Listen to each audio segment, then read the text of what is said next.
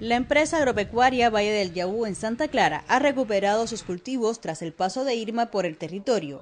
Así lo constató el primer vicepresidente de los consejos de Estado y de Ministros, Miguel Díaz Canel Bermúdez. Esta es una empresa que tecnológicamente ya le pusimos el riego y la maquinaria, pero ahora hay que seguir trabajando.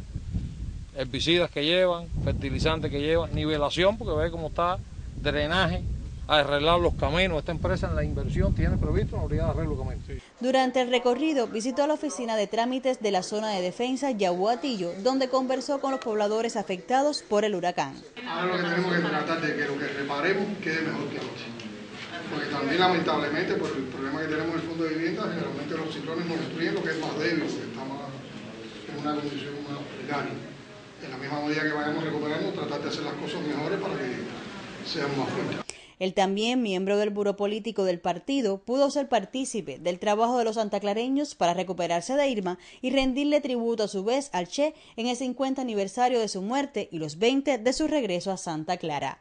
Desde Villa Clara, Sandra Cristina, Sistema Informativo de la Televisión Cubana.